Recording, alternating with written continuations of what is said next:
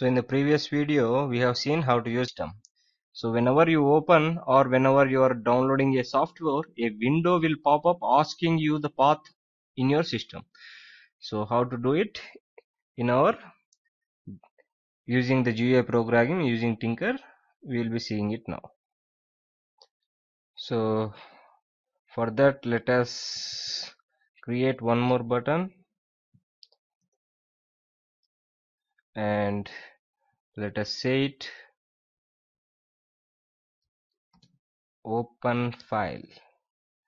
And let me change this command to m file open and pack. Now let us create a method for this. Define m file open and now let us a file 1 is equal to file dialog dot ask file open.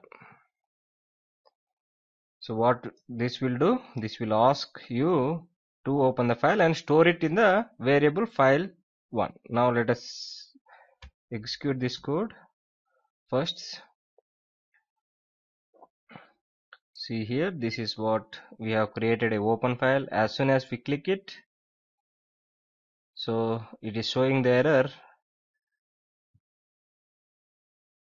So let us see what the error is. So here the method name is not ask file open ask open file. Now let us save it and execute it so now when we are pressing on the open file see this window is getting popped. Now we can select any file and open it or we can select the path where the file should download. So let me select one file. So nothing happens because we haven't written enough code. So now once we selected a file the self file path is stored in this file one so let us see the output. What does it contains? So for that let us create one more label like this and paste it. Is equal to text and change it here. Text is, is equal to get it from the file one okay. Now let us see the output.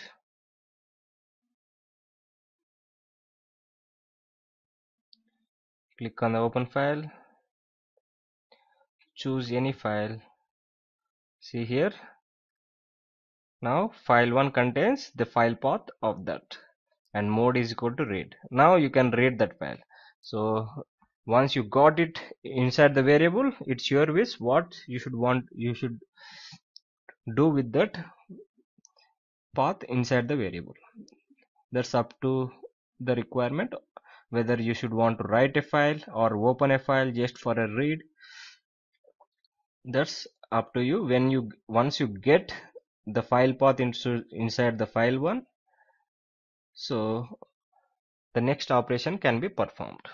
Hope you understood how to get the file using this file dialog dot ask open file method. Keep practicing meet in the next video